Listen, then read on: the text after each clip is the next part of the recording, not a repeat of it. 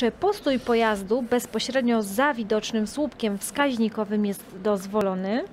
Słupek wskaźnikowy to ten z tymi znowu biało-czerwonymi naprzemiennymi po skosie pasami. W tą stronę jodełka to jest prawa strona, w drugą stronę jodełka to jest lewa strona jezdni. I teraz, jeżeli chodzi o ten postój, to zapamiętajcie Państwo, że postój jest zabroniony na przestrzeni pomiędzy słupkiem wskaźnikowym z jedną kreską i jakby aż po drugiej stronie przejazdu do słupka z jedną kreską. To tam nie możemy. Zatrzymanie znowu jest zabronione w odległości mniejszej jak 10 metrów od przejazdu i na przejeździe. Tą sytuację, którą tu mamy, mamy trzy kreski, czyli trzy trzecie, czyli pełna odległość jakby. My jej nie znamy dokładnie w metrach, ale jest jeszcze pełna odległość do przejazdu kolejowego. Jak tu jest ciuchcia bez zapór, to bez zapór. Mhm. Czyli jak najbardziej postój, to zatrzymanie trwające, nie wynikające z warunków ruchu drogowego i trwające powyżej minuty moglibyśmy jak najbardziej zrealizować.